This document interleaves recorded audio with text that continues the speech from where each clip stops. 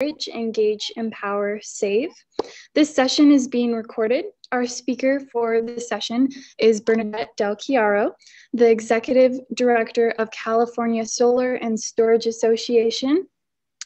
Um, Bernadette came from the, or give me a sec, sorry. Okay, so Bernadette came from the California Solar and Storage Association in July 2013 and has built the organization into the largest clean energy business group in the state. Prior to her work at CALSSA, Ms. Del Chiaro served as the Director of Clean Energy and Global Warming Programs at Environment California, as well as Western States Regional Director for Environmental America. Since 2002, she has been a leading voice on many California clean energy initiatives, including the Million Solar Roofs Initiative, the Solar Water Heating Initiative, the continued expansion of net energy metering, the establishment of streamlined solar permitting, and the and the expansion of consumer incentives for energy storage, among other victories. She's authored several clean energy reports and has been quoted widely in the media, including MSNBC, NPR, BBC, New York Times, Los Angeles Times, and dozens of local and trade outlets. She's been a California native, graduated from the University of California at Berkeley in 1995 she lives in Sacramento with her husband, Steve, and two children. So thank you so much for coming here and sharing your knowledge with us. The floor is yours. All right. Thank you, Lauren. And thank you to um, Tim and everybody that put this event together and invited me um, all the way from Sacramento, California uh, to be a part of it. Um, so I'm going to share my screen now. Lauren, I'm going to assume that you'll let me know if there's a problem. Um, and I'm hopeful that I won't take up the entire time talking at you, but we'll um, leave some time for questions if there are any from any of you. Um, hopefully that will be possible. So what I want to talk about is, um, I know I'm in the sort of technology section, um, but I want to talk about both technology and uh, activism and community engagement and how those three all fit together in a unique way with, I think, distributed or rooftop solar. Um, and so to kind of just level set, I'll um, a couple of first slides will be just talking about the technologies that that we work on, um, how they fit into the climate change solutions um, puzzle, um, and then just sort of the state of that um, uh, those solutions, at least here in California. Um, and you can kind of extrapolate from there of how things stand in your state, or maybe you can ask me some questions and we can talk about where things stand in your state, and I'll do my best to answer them. So first of all, who, who is CALSSA? Cal, we're the California Solar and Storage Association. Um, we're California's oldest and largest business group. We're made up of 600 companies um, based and working here in California uh, to build a clean energy future. We like to say one roof at a time, though um, some of our technologies are located in garages or on parking lot structures or uh, out on a farm. There's lots of different ways in which solar energy fits into where we live, work, and play. Um, and this is a, a, lobby day we did with our member companies um, and their workers a few years ago before COVID. Um, but just shows you uh, just some of the enthusiasm with which we kind of bring to the work we do um, here at CALSSA. Then just real quickly, when I talk about local solar and storage, what am I talking about? I'm talking about, first of all, um, generating electricity at the point at which the electricity is used. So that is primarily done through photovoltaics, right? Turning electricity, uh, sunlight into electricity. Um, we are more and more turning that electricity and storing it into a battery. Um, and then the other form of um, solar energy is solar heating, um, and mostly primarily through water heating. Um, and I'll talk about that in a little bit. And then actually the fourth piece of our little puzzle of the world is energy controls. So we'll talk a little bit about that um, as well, uh, but it's a key, key piece of the, of the, of the, uh, of the puzzle. Um, so I'm sure most of you um, already know what solar photovoltaics are. I'm not going to spend the whole time talking about um, photovoltaics, but they were invented amazingly long ago, 1954. It's amazing to me that we're only now starting to see um, solar deployed in places like sunny California and all throughout the country at meaningful levels. Um, we're about maybe 10% of uh, California ratepayers having solar panels on their roof or on their property in some way. Um, so 10% is great compared to zero, uh, but obviously it's really small compared to 100, and we're just really getting off the ground, even though this technology was invented so long ago. Um, you guys all, I'm sure, are familiar with the different types of photovoltaics. These are some of the main kinds at the top the most familiar that you see, um, you know, encased in glass and aluminum up on roofs. Um, we are also starting to see some development of pretty exciting other ways of um, deploying this type of technology um, in, in things like glass and build really truly building into the entire building envelope or other uh, built environments. So there's, uh, we like to say the sky's not even the limit when it comes to solar energy and um, we'll see where um, the future takes us if we keep supporting the market. Um, another form I mentioned earlier, we all, most of us have a fossil fuel power plant in our garage. It's called a water heater. Um, some of us use natural gas, uh, primarily here in California. Um, elsewhere on the East Coast, uh, people have borne oil uh, to heat their water. Um, and this is actually a significant source of air pollution and GHG emissions. Um, we have this other option, uh, which is solar water heating. And you can see here on the photo on the left, um, there's a typical PV panel in the background, and then the foreground is a solar water heating. It's very simple. The photo on the right shows the copper pipes. Um, you run either water or more commonly glycol through that, and then that through a heat exchange heats up water, basically preheats it so you don't have to use that fossil fuel power plant in your garage if you don't, um, and in order to just take a hot shower. So it just does a tremendous amount of work heating that water up way hotter than you would ever need it for your, you know, cooking or uh, cleaning or bathing or what have you.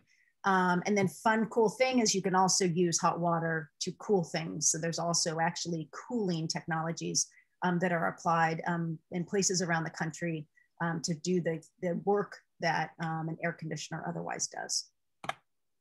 And then energy storage, I'm sure many of you are familiar with this. Uh, Tesla is one of the most common and well-known companies providing energy storage.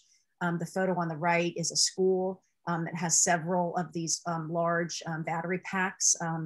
And then the photo on the left is an LG Chem battery. Um, that is uh, one cool fact I um, like to share is that LG Chem manufactures batteries right here in the United States and in, in Michigan near Detroit. and they, of course, have located their factory close to Chevy, um, so that they can put those batteries into the Chevy Bolt. Um, but a lot of those batteries, exact same technology that's going into EVs is also going right into our homes in, the, in this form of this particular box here that you see. Um, and that's the second highest selling um, battery uh, storage company in the US. Um, I also like to just sort of get people to understand that energy storage does many, many things. Um, um, we're kind of most commonly think of it, at least out here in California, we, where we're facing increased number of blackouts due to uh, climate change risks from wildfires. Um, the batteries obviously help store that sunlight during the day, and then you can actually rely on your battery for when the lights go out. Um, but it does many, many other things. I'm not going to go into each one of these things, but there's actually 13 different services uh, that a battery that's located behind the meter and paired with a solar panel uh, can provide to our shared electric grid. So we can talk about that more later if you want, but I just wanted to share this idea that energy storage is the it's the real kind of um, bridge to uh, complete uh, clean energy living. And one of the cool things that energy storage can do from a climate change perspective um, is it can help us decarbonize the electric grid. So this is a lot of numbers, uh, but just to share it with you, show kind of break it down. You can see in California um, that in the months of March and April, you know, mid in the middle of the day, we have actually green is um, low carbon and red is high carbon and yellow is somewhere in between. So this is just a snapshot of the carbon intensity of the California grid. It's an average and you know all that, but it's an interesting view for electricity and energy regulators that are trying to decarbonize. As you can see, um, middle of the day in March and April, we have the greenest electricity coursing through the California electric grid. In contrast, August, September, in the, in the evening is when we have the dirtiest energy coursing through the electric grid. The reason for this is both a great thing. It's a success. And then it's uh, where we're kind of need to keep working. The green is because we have a lot of solar energy, both utility scale and distributed. And in March and April, we have pretty relatively cool months and tons of sunshine in California up and down the state. There's not a lot of cloud cover here in those months. And so the huge percentage of our electricity comes from solar panels and during, during those um, midday um, um, uh, and during those months. And it's really, really clean. Then you fast forward to the, um, the evening in the hotter months of August, for example, and you have the sun has, you know, is set, setting, it's lower on the horizon in August than it is. Um, and, uh, and we're relying more on what are called peaker natural gas power plants that are turned on just to meet the energy needs later in the evening. Now, the energy usage is higher midday because everybody's at work and they're cranking their air conditioners.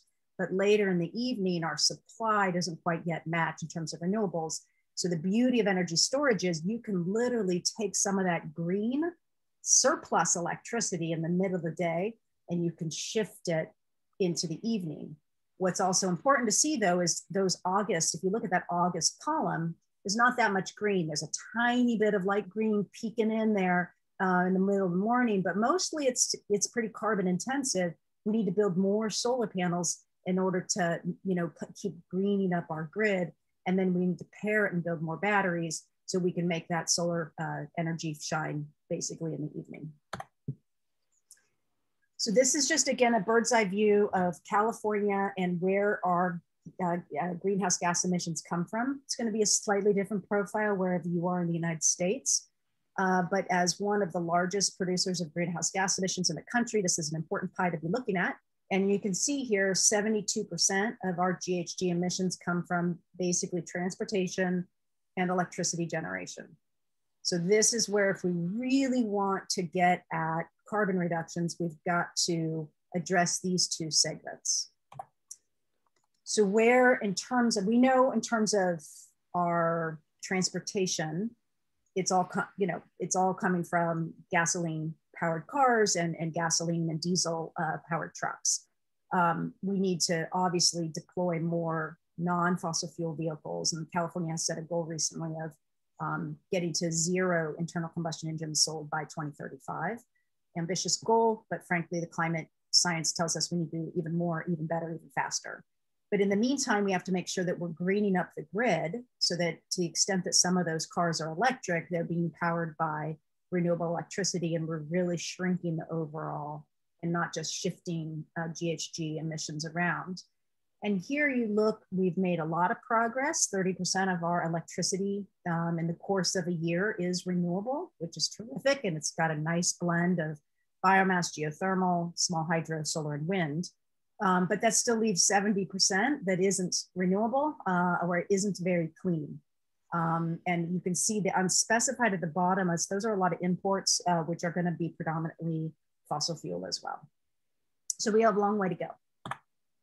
Um, what's the size of California's solar market? You know, it's, it's huge when you think about it in terms of like a nuclear power plant, which is a large, large uh, plant, huge source of electricity as you can see here, um, the non-residential is sort of the commercial rooftop market, residential is homes, and then you have the utility scale market. If you add those together, uh, we have quite a good sized solar market, which again, you could see, um, you know, here, a decent dark blue line at the bottom. Um, and it's a lot of nuclear power plants um, basically spread out throughout the state of California. Um, and but and, and one of the things i'm really excited to that we we accomplish have accomplished is we've built a million individual solar systems of the course of 13 years and that's not accounting for like the equivalent or anything that's literally a million different solar systems on different properties uh, throughout the state and we're actually actively building 400 solar roofs every single day is the rate of growth um, which is about equivalent of a coal plant every five months so it's tremendous what we're doing, the growth and what we've created. But again, we still have a long way to go. Um, who's going solar? I think this is really important. Uh, most people think of that bottom middle, that it's all the, you know, um, hybrid EV drivers, single family homes. And that is a big, huge part of our market. Um, but we also have uh, over 2,000 schools with solar. Uh, we have over 2,000 farms with solar, a myriad commercial properties, low income uh, rental housing properties that are also going solar and sharing those benefits with renters. Um, and then of course we have our new solar homes mandate. So every single new single family home in California must come with solar panels on the roof. This is one of my favorite facts, and especially for any of you who are, um, you know, not in California, maybe in the middle part of the country. Uh, California is kind of a microcosm of the rest of the country. Uh, we have our coastal cities, but we have our inland areas that are very rich in oil and agriculture and very conservative. We have actually seen four times as many people go solar, like literally on their building, on their home, on their business in Kern County, which is sort of like California's Texas, than we have seen in San Francisco. Um, so you can see the numbers here 32,000 people have gone solar in Kern County versus 7,000. Some of that is San Francisco is really foggy. There's a lot of folks that rent and are kind of transient, right? A very young population. Um, but a bigger part of that reason for that disparity is that people all throughout California and all different stripes of politics and location of where they live, they all embrace solar energy. It's it's a it's a non win-win, no-brainer thing for people to invest in, and we're seeing that investment happen throughout the state. Um, another thing I'd like to share with folks about solar is um, who's who else is going in terms of is it just for the rich uh, or actually because of our drop in prices, um, how, you know, we, how are we doing about getting solar into the hands of everybody?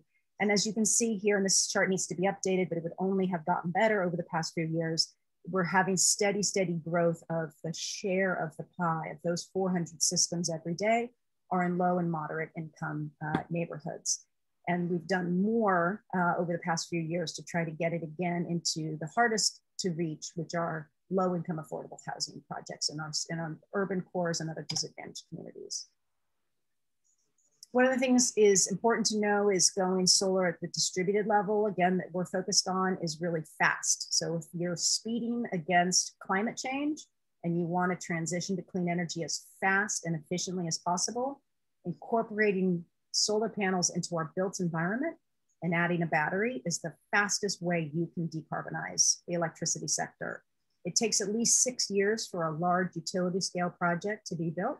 It takes us six weeks, and that's a generous timeline. We try to get it done even faster than that.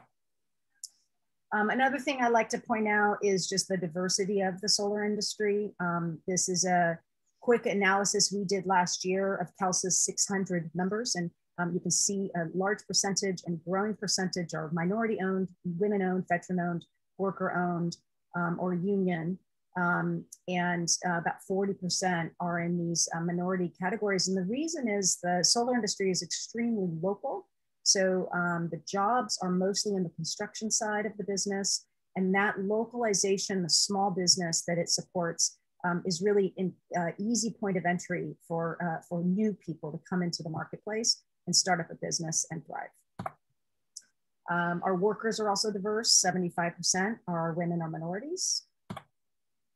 And then ratepayers benefit whenever somebody puts solar on their roof.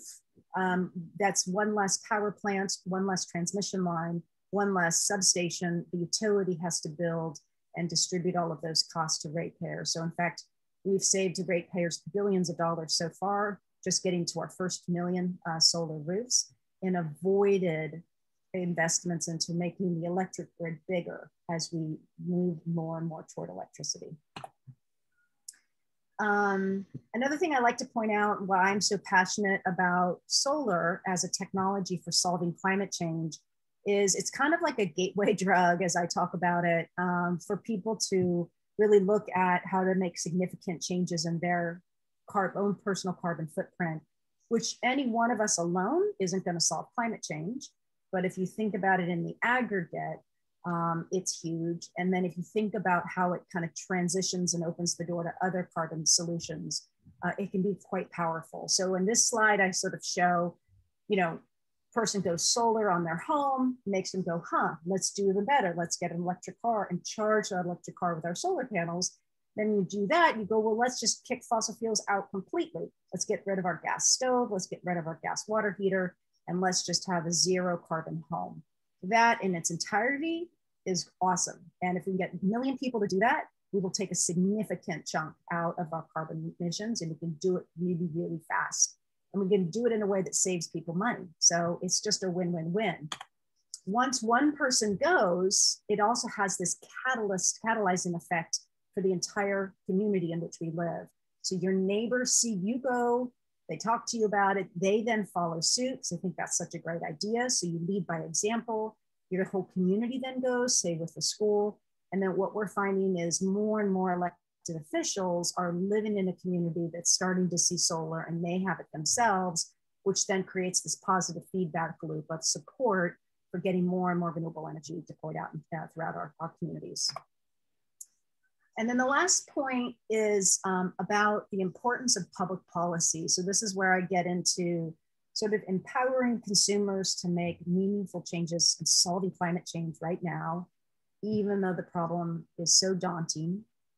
Um, but it's also about we do this through public policy. And so I, um, I hope this is a steady theme. I'm sure it is with Bill McKibben and others that have been part of the event today. But we make the biggest change when we work together and we pass laws or policies uh, that either you know reduce directly reduce our use of fossil fuels or we promote and um, accelerate our use of renewable energy. This is just a um, slide to sort of show you the annual growth of rooftop solar in California over the past 15 years or so. And I can tell you when I came to California from uh, having worked on the East Coast for some campaigns to shut down coal fired power plants in New England, and I came back to California in 2002. My, I looked around and my job was to work for an environmental group on developing a clean energy program. And, you know, at the time we had very little renewable energy in California. We um, had incredibly high amounts of great greenhouse gas emissions associated with coal-fired power plants in the um, Mountain West, Southwest, and we had very little rooftop. Um, really, nobody had solar except for a handful of really like early, early adopters. And um, and so we decided. I teamed up with a state senator named Kevin Murray, and we decided to just go big on rooftop solar. And so we introduced a bill in 2004. Um, and you see that slight bump up in, in the market in four and five is largely due to probably none of you will know about this, but California had an electricity crisis in 2001, 2002, where this company named Enron uh, basically manipulated the electricity supplies in order to drive up the price. And that manipulation went haywire, and there were rolling blackouts all throughout the state of California in two different instances. And people paid, you know, thousands of dollars in their electric bill um, for, for one month of electricity and, and really major problems throughout the state. That made a lot of people sort of fed up uh, with the system. And a lot of folks said, I'm gonna get my own solar panels and just, you know, do something to not, not put so much power and control into some of these energy companies and into our utilities. Um, so building off of that, we were able to pass the Million Solar Roofs Act in 2006. Um, this was something that Kevin Murray was the uh, senator of, and Arnold Schwarzenegger, who was our governor at the time, championed it and signed it into law. That bill basically transformed solar energy in California. It created a $3 billion pot of money to directly give consumers incentives to go solar. And it increased a program called net metering, which allows the meter to spin backwards and you get a credit and you can use that credit uh, on your energy bill to lower um, the energy bill. So it's a beautiful bill. It worked incredibly well, as you can see. Um, we then worked, got the federal government to uh, extend and renew the federal tax credit so ratepayers could get a rebate. They could get uh, a, a, credit on their taxes, um, and then they get this net metering. And from there, you just see this steady, steady growth until 2016, when the utilities lobbied our state regulatory agency and got the agency to uh, kind of give this net metering program a haircut. You can see that haircut in 2017 and 18, and we're just now climbing back up to where we were in 16. So the point I want to make here is all the technology and smart business practices in the world don't really mean that much if you don't have a market to sell your wares. And markets on energy are very, very dependent on public policy. It's a highly regulated, very monopolized, very centralized system. And it's very hard to get new technologies to break into that system. But with good policy, you can do it. And you can see what the effort that went into passing the Million Solar Roofs Initiative and how it helped, as long along with the federal tax credits, how those two policy initiatives helped to grow the market. We're now at a whole new kind of decade and a new um, vision that we have to now go. We want a million solar charged batteries. So we want to do this exact same growth curve for batteries so that we could think back to that one chart I showed at the beginning, get deeper into decarbonizing California's electricity grid while at the same time keeping the lights on, providing resiliency during uh, storms like what Texas just had, um, and, um, and, and basically creating jobs and a lot of economic development um, as well. And so um, for me, it isn't a question of if we'll transition to renewable energy, but when we'll do it, how quickly, um, who is going to be part of it, who benefits from our transition to renewable energy, um, and how you know how quickly and efficiently uh, we get there um, is is sort of the, the key question. Um, and for me, it's about smart technology that engages and, and I gotta sign these individuals, and then it's about public policy and engagement. So with that, I'll stop and we'll see. I see there might be a question in the Q and A um, from Jacob and he asks, what's the cheapest type of PV cell? Um, well, the thin film is really cheap. Um, it's the kind that is, uh, you basically coat plastic um, with, uh, or some sort of flexible thin material um, with, with a photovoltaic uh, basically substrate. And then you can lay it on a roof. Um, you can uh, do lots of different things with it. But the downside of thin film is um, is that it's actually less efficient. So you need way more of the product to make the same amount of energy that those square glass and aluminum modules you see typically up on roofs.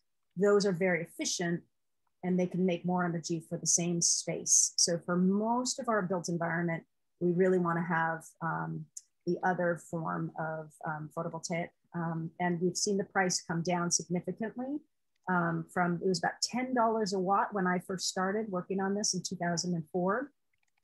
And we've gotten our prices now down to close to 350 a watt. Um, one of the big, big last remaining areas that we need to see to get our price down even further is what we call soft costs, and that is mostly permitting at the local level. So that's another thing. If any of you are interested in doing something in your local community, um, you could be advocating for your local building department to adopt what's called the SolarAPP. Um, it's developed by the National Renewable Energy Laboratory. And it's this brilliant app that basically every building department in the country can just plug into it. And then all solar installers, they submit, it's just you go to basically a portal online to submit your permit documentation to say, I'm going to build a solar panel for Jacob uh, at his home, and uh, here's how I'm going to do it the building department gets you an automatic turnaround um, of approval to go ahead and install that system for Jacob. But that type of um, product, believe it or not, can shave the cost of solar significantly, saving consumers money um, and helping us lower prices to, to expand solar for more people. Um, all right, let me see if I got another one here. Um, Sammy says, hi, you mentioned that solar panels were actually introduced pretty early but weren't used for renewable energy until much later. Where did we first see solar panels being used for renewable energy on a large scale in the United States? Great question. Um, the history of solar is really cool. It started, that photo I showed you um, was basically Bell Labs that ran the telephone lines, the telephone company back before cell phones.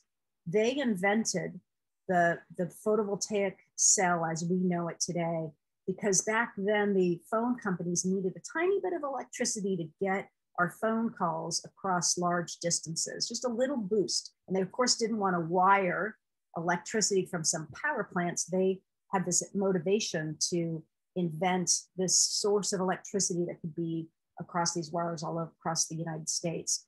Um, they ended up having a different discovery that allowed them to forego the need for the solar panel. So it sat basically on their shelves for a long time until um, basically the off grid movement in the 1960s and 70s. So a bunch of hippies that were kind of checking out of society and going and living off the land.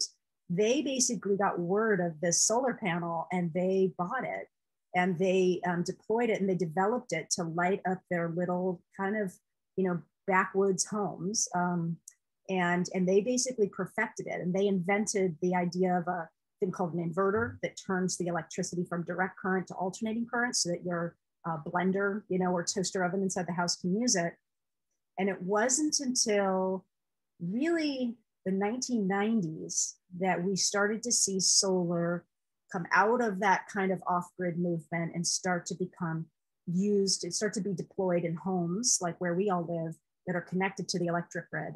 And that's got started in 1995 in California passed the first net metering law. And it's really kind of been history ever since. It got started in this really distributed way. As prices lowered and demand for renewables grew, we started to see more and more utility scale projects, the huge projects out in the desert. And now our market, at least in California, is about 60 40. 60% are these huge utility scale projects, and 40% are distributed all throughout the state on roofs, um, as I kind of mentioned earlier. So hopefully it answers your question. Um, let's see. Uh, Anonymous says, How would you recommend bringing up the solar panel conversation to my family? Um, it's a good question. Um, I would say that you should ask folks if you know your family if they realize that they if they went solar that they could actually save money um, and actually keep the lights on if there's ever a disruption to the electricity grid while at the same time doing good for the planet um, while some of us who are diehard environmentalists and are really concerned about climate change want to start every conversation from a climate change frame, because that's what our motivation is, I find it's really helpful to look at what the you know recipient of the information, what motivates them. And most people are motivated by saving money um, and having reliable energy. And that is one of the two main benefits that solar panels have. And so if you get more and more people, more heads nodding of like, oh, right, that makes so much sense, then the green part of it, the altruistic planetary part of it, is kind of like a you know a bow on top it's obviously incredibly important but it gets people motivated to do the right thing you can bring them along on the climate science um, after they've decided to save money with solar so that would be one answer um, let's see uh, kaylin asks um, do you have any advice that would give you would give to students trying to uh, encourage their school or families to get solar? Okay, so it's the exact same question, really. Um, you should look, you can work with uh, local experts, and you should guys should feel free uh, to email me. Let me actually put my, there we go. Um, anybody wants to, feel free to email me. Um, and I'd be happy to try to connect you with some local experts in your hometown or in your state. Uh, but there are lots and lots of services for people to get to understand if they put solar on their roof, you know, how financially viable would it be? How much money would they save in the first year, in the first five years? Um, it is most most of the time, with a few exceptions of states that have made it very difficult for people to go solar, most of the time it will save you money if you make that investment. And there's also lots of different financing. So you can go solar without having a huge amount of money you have to put down. Um, you can finance it, you could do a leasing type arrangement.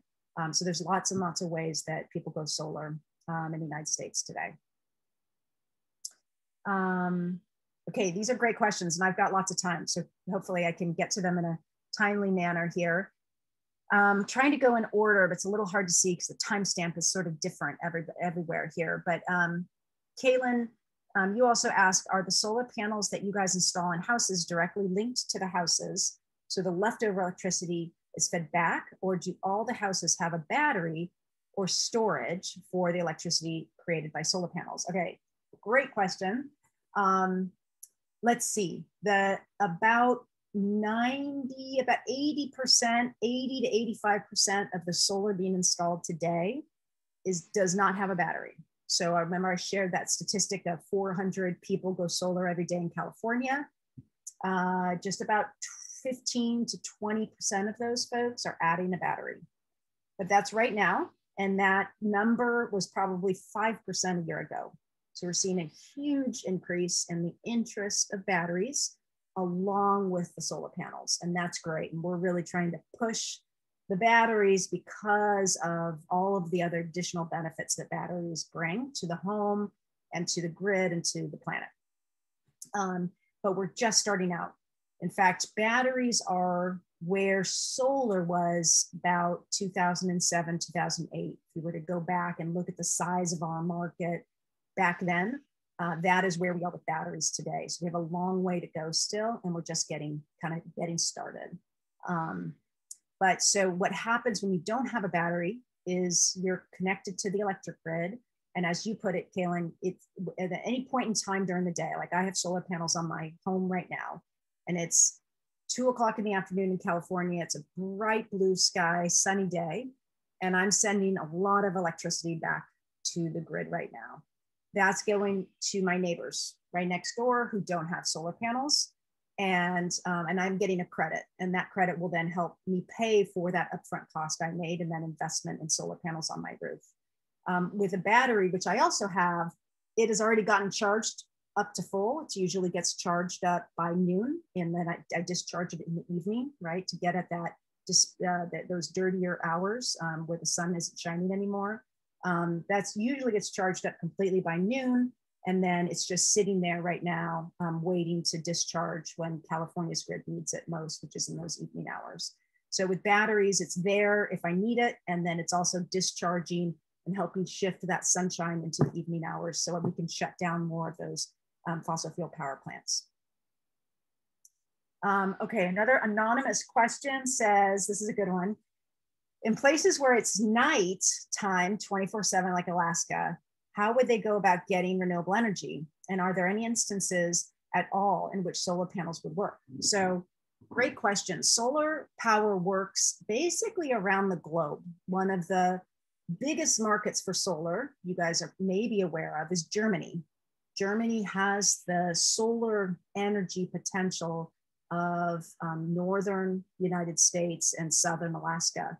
So it, it works actually everywhere around the globe sure, in the dead of winter in Alaska, when the sun never gets above the horizon, um, you're going to have a hard time relying entirely on, on solar energy. And you'd have to have an incredibly large battery to get you all the way through the winter. So, what we would recommend for Alaska, as is the case for California and Michigan and everywhere else, is that solar and batteries are a major kind of pillar to your renewable energy infra infrastructure and investments, but you pair it with wind, which blows year round and mostly during the night in a lot of places. Um, and then you also pair it with other types of renewable energy. So a great source for Alaska would be geothermal. And geothermal can be both big and it also can be small. So there's a lot of folks that keep their homes at a constant temperature through what's called distributed geothermal this is pretty easy to do and it's it's it's absolutely possible um, to deploy this uh, in the significant ways. We just haven't quite made those investments yet in these other technologies like we have with solar. And then last but not least there are these other technologies called fuel cells for example um, that can really store and generate electricity during the winter. So that would be my quickest answer but of course the opposite flip side of alaska is it is also sunny 24 7 um, for the rest of the year during the summertime.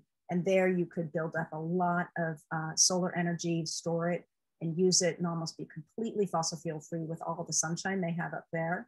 Um, and then they could again store it hydrogen. They could uh, get, capture hydrogen from water, store it in a fuel cell uh, for their use in the winter.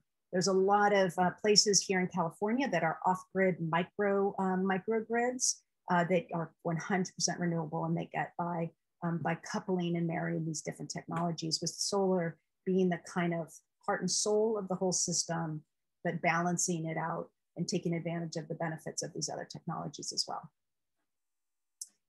Um, do companies like your own, do companies like your own do like a payment plan for solar panels or a majority pay up front? Great question. Um, so let's see, statistically in California, 70% of the solar systems are paid for with what is considered cash um, and 30% are uh, financed through what's called a PPA. So let me explain what I mean by that. When I say cash, I don't really mean like you pull out a wad of money and you pay in cash. Sometimes it's, you know, literally you have that money in the bank and you pay uh, through check or otherwise. But most time people take out a loan, like a home improvement loan. Um, there's a lot of energy, clean energy loans that are available at a very low interest um, and you just sort of finance it like a home improvement project. Um, that's how I did it, and it's a really cheap way um, to to not have to have all that money in the bank, um, but instead make this improvement to your home that increases the value of your home, lowers your energy bill, um, and you can finance it. Um, the PPA model and PACE financing is the other one. Those basically allow you to um, you, you basically have a company come and own the solar system on your roof. So, say Sunrun is the largest of these types of companies today. They own it, they pay all the upfront costs, and then they sell the electricity from the solar panels on your roof to you at a discounted rate. So, you get a guaranteed um, lower energy bills. Uh, it's in the contract. And then your home is powered by the solar panels on your roof, and you never had to fork over a penny uh, to put the solar up on your roof. Um, so that's a really popular, but like I said, about uh, 20, 30% of Californians use it that way. And as you can imagine, you know, that is what's helping really drive that, um, that along with um, other forms of financing like PACE financing and has heavy subsidies is helping us get deeper and deeper into low and moderate income neighborhoods. Um, so let's see, do you think that a policy such as a carbon tax uh, if a policy like a carbon tax was put into place, that the demand for solar would greatly increase? It's a good question. Um, I know carbon tax is really popular. We don't, as an organization, have a position, um, mostly because I haven't seen it get introduced in a, in a serious way. So I have 50 million bills I have to take positions on. I'm not going to take position on something that's just an idea. Just that's just my reality.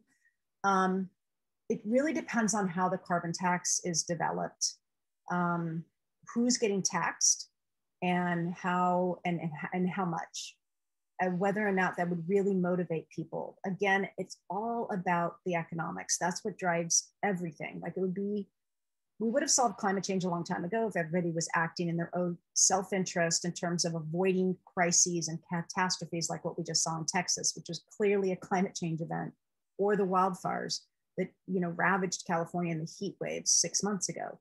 These are climate change events and they're hurting everybody. And it's all in our best interest to reduce climate change, right? But unfortunately, we're still in this place where people think short term and they think with their pocketbooks. So if a client carbon tax could be done in a way that truly makes an immediate impact and, and, and on people's um, daily lives in terms of the cost of living, it would probably help but um, but there'd be a lot of consequences to that too, and a lot of pushback.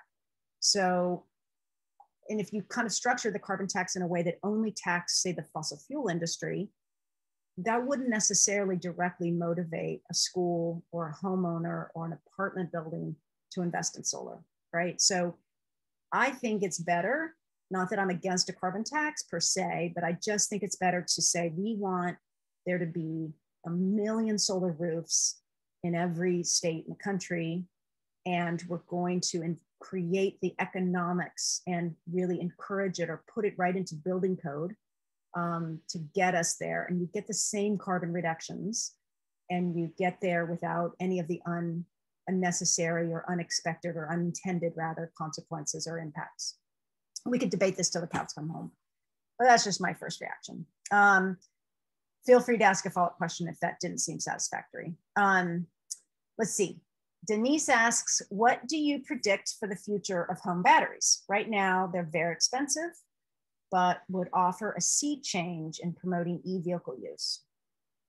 Yeah, batteries right now cost like a single home battery costs around $10,000 without incentives. And then with um, rebates that some states offer, like California, and then the tax credit, if you're pairing it with solar, that the federal government offers, it comes down to around $5,000. For a lot of people that are faced with unreliable electricity supplies, $5,000 is actually cheaper than investing in a big, you know, propane or diesel or uh, gasoline powered generator. So there's a lot of people in California faced with these um, blackouts that we've been faced with. And probably a lot of folks in places like Texas that are looking for how do I get my own source of energy as a backup for when the grid goes down. They're forking over probably 5,000 bucks if they want to do anything more than run their cell phone on an itty bitty little generator, right? Or just their fridge. People want to actually have significant amounts of their lives powered. They're going to be forking over 5,000 bucks. So the argument we would make is yes, that's expensive and we need to get the price down, but that's actually pretty good compared to the alternative, which is more fossil fuels um, and less, you know, frankly, has a bunch of other problems related to how do you get fossil fuels if it's in a crisis and blah, blah, blah, whereas the sun's always going to be shining on your roof. So um, it's expensive. We need to get the prices down. The number one way to do that is to create the market. So the way market economics work is if demand is low, prices are high. And if demand is high, you know, and, and so, so sorry, supply, the demand is really, really low. Manufacturers make five of these things a year.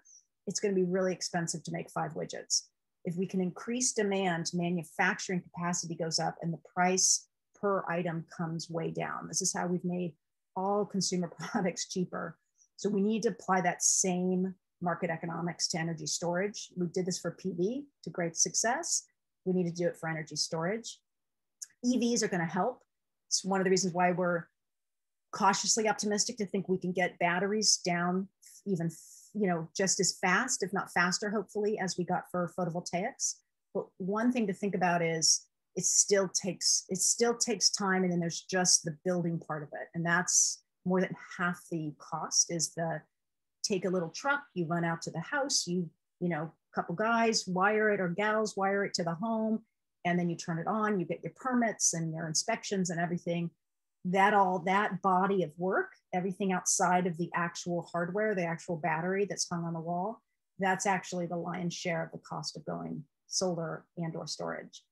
Hence our big focus on that app that SolarAPP where if we get that the cost of getting it permitted down that can make it take a big chunk out of it and make renewable energy uh, more of a reality so hopefully that answered your question okay here we have one another anonymous uh, question how would you suggest addressing starting a community solar slash storage uh, distribution network on a small local level? Is it even possible? Um, yes, it's very possible. Um, basically, it's called a microgrid. Um, and uh, we have several microgrids in California and throughout the United States, but they're very few and far between. And um, they, they take a long time. They're not that fast. Uh, you know, fast to deploy like a home solar system with a battery in the garage. Um, community solar is a little easier to deploy to get going. It probably take you about a year, year, two years to get it off the ground and get it actually like plugged in and working. What community solar is, for those who aren't familiar, is you. It's harder to do with storage, but with uh, with community solar, is you basically take a maybe a church roof or a big warehouse um, that doesn't have a lot of need for electricity under its roof, but it's surrounded by a community or a neighborhood. And if you can get the permissions set up, you can basically collectively build those solar panels on that roof and then have the electrons shared uh, sort of on paper and credit form with those homes in that neighborhood.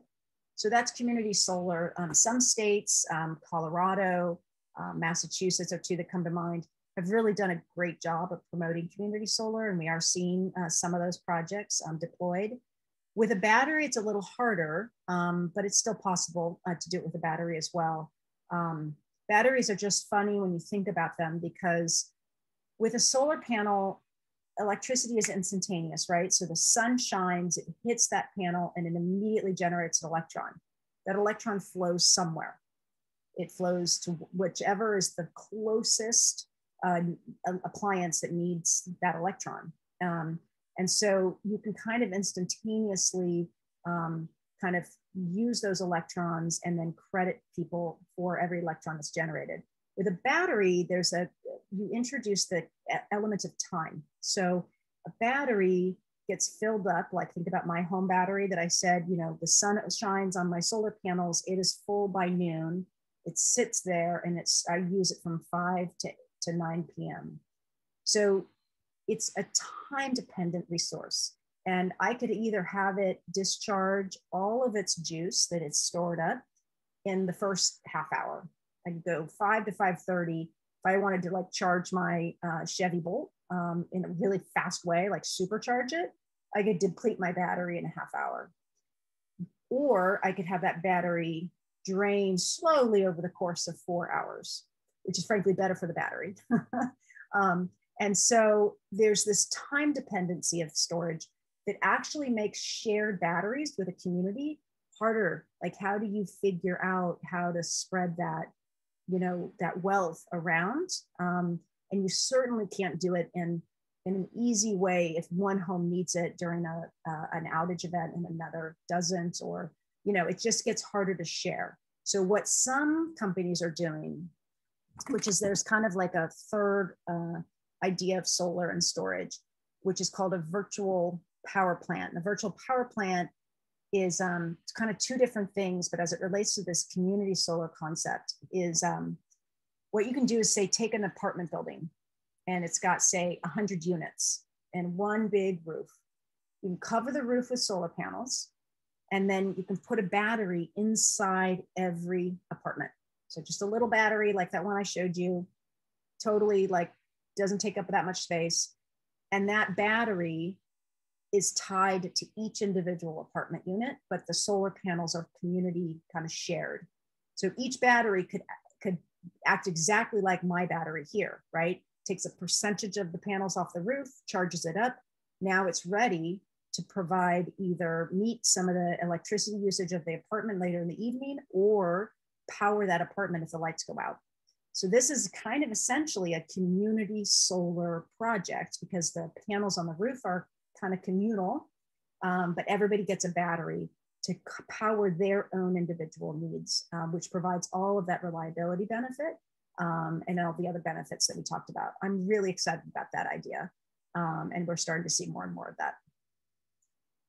Um, okay, are the batteries a risk to have in every community or neighborhood? They contain so much electricity, I can't imagine it wouldn't happen. What would happen if one were to malfunction somehow? Not sure how it compares to what we have now. Great question. Yes, batteries are dangerous things. They are um, they're basically uh, chemist, chemist, chemicals stored tightly packed in a box uh, that are yes charged up with uh, with electricity. Um, frankly, your cell phone is dangerous. If you ever put your phone, uh, made the mistake of leaving your phone in a hot car. Um, and it comes, I don't know if you guys have ever had that happen where it's like suddenly starts blaring at you and it shuts itself down and it's you know it's like yelling at you to get it out of the hot sun. It literally could explode and start a fire. And some phones have done that. I'm sure you guys are familiar with that. So these batteries no matter the little the tiny things that you know um, energizer batteries that we put in our electronics or our cell phones or our laptop computers um, these are all um, potentially hazardous uh, products if we don't uh, treat them carefully and take care of them. And when it comes to a battery on your home or on a school or at a business, it needs to be properly installed, needs to not be in the direct sun, um, and um, you know all that. But actually, it's pretty safe if everybody follows the standards and the rules. And so we have extensive codes in California and throughout the country and throughout the globe for electronic appliances to just make sure things are safe. So we have laboratories like UL, for example, on the back of every electronic device you've ever had. You'll look on the back and you'll see a stamp of approval from that lab. That means every product that's manufactured is tested to be safe for consumer use and then manufactured exactly the way the, the testing labs dictate. Um, so we can all be sure as consumers, if we go down to the store and we buy a cell phone, or if we call up our local solar installer and they install a battery that is installed to code and it's going to be safe to use.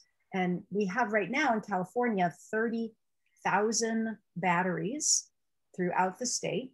So while we're still just starting out, there's no small amount of batteries that are deployed in garages and apartment buildings, um, schools, and, and elsewhere. We also have large utility scale projects with huge banks of batteries, um, and they're all working safely. We have had occasional, there was a uh, utility scale project in Arizona that caught fire, um, still under investigation um, as to why it caught fire. So it's not to say that there aren't hiccups um, for the industry, um, but by and large, if installed properly, it can be safe. So um, one other thing to think about about battery safety is, uh, you know, I just drove uh, an hour uh, back home from a little um, trip I took out of town today in my electric car. I took that same size battery that I have on a wall, came stationary in my garage, it's basically on four wheels and goes 60 miles per hour down the road. um, we are driving in little metal boxes and you know hurling these batteries through time and space um, at an increasing rate. Um, and if these things were that dangerous, um, we would all be in a, a, whole you know world of trouble with all the EVs that are you know driving around um, around our communities right now. So it's not to say it's not there isn't some risk and that there isn't uh, some a safe strong safety culture that we have to adhere to um, but uh, but it's not as dangerous as you might think and the last thing i'll say on this is um, if you think about the volatility of fossil fuels how incredibly dangerous a uh, compact tank of gas is or your electric your i mean your natural gas water heater in your garage um, these are actually appliances that are come with a lot of risk and, um, and can be very, very deadly or damaging to property by the same exact standards of a lithium ion battery, other forms of energy storage. Um, could solar panels work with moonlight? That's so cool. I sometimes we get a really bright, bright, bright, clear night here in California, and I go out and I can see the moonlight on my panels, um, and I want it to actually work, but no, it needs um, direct rays from the sun uh, to, to work. Um, so unfortunately, we can't make solar energy out of moonlight, but maybe someday we'll engineer such a cool solar cell as to be able to do that. Um, let's see. It's also, it looks like a chat. Uh, let me see if there's any other questions there. That, I'm sorry to interrupt you. I think that unfortunately we do have to we do have to wrap up at this okay at this point in time. I think Lauren wants to say just a couple of things before we before we head out. Um, but thank you so much. Of course. Yes. So, uh, Ms. Del Chiaro, thank you so much for sharing your Saturday and your knowledge with us today. And we really appreciate you taking the time to be here. I'm sure everyone has learned a lot. I know I certainly have. Um, and we just really appreciate you being here and taking the time to talk with us today. Of course. Thank you for the invitation and keep up all the good work you guys are doing. And be in touch if you have any other follow up questions. Thank you. Thank you.